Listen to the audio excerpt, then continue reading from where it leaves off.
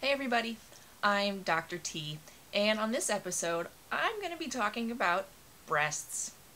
So, breasts actually can happen to every gender, not just females. And so, I want you to know, for the males out there, if you develop some breasts during puberty, small, little breasts, totally fine.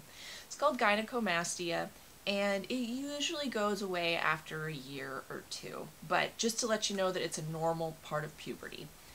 Now let's switch gears and talk about the other kinds of breasts, those for the female anatomy folks. Breasts can come in, obviously, all shapes and sizes, but there are some things that you should know that you don't need to freak out about. First of all, it can be common for one breast to be larger than the other, and that's okay. As you go through puberty, they may even out in size, or they may not, and that's okay. It's also a good idea to get to know your breast tissue by doing breast exams. Usually, uh, the time we recommend to do breast exams, self breast exams, are after your period, just so that you remember to check once a month or so.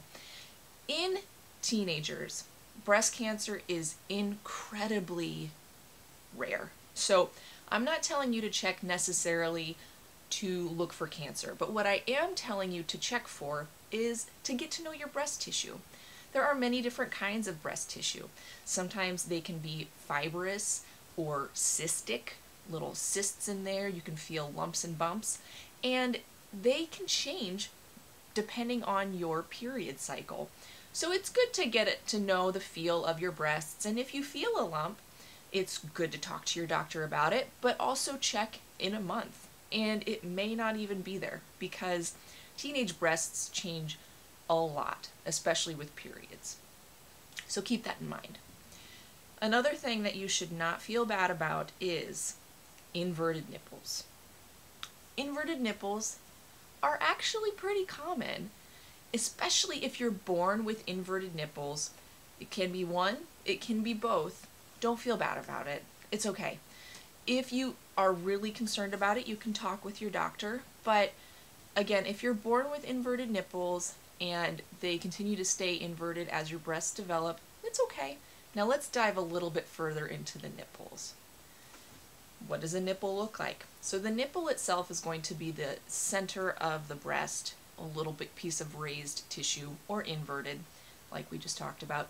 And surrounding that nipple is going to be what's called the areola, and that's going to be darker skin around the nipple. Now, the areola has glands in it, and it might look like you have little bumps on your areola. And that's okay. These are normal, natural glands that are on your areola. Totally fine. You may also notice a little bit of hair around your areola. And that's okay too. Nothing to feel bad about. You can pluck them, you can leave them, it's your call. Otherwise, that's my breast rundown. Again, all genders can get breasts. And if you have a concern, chat with your doctor, but there is a spectrum of normal, and lots of things can be perfectly fine for you and your breasts. So be gentle to them and love them.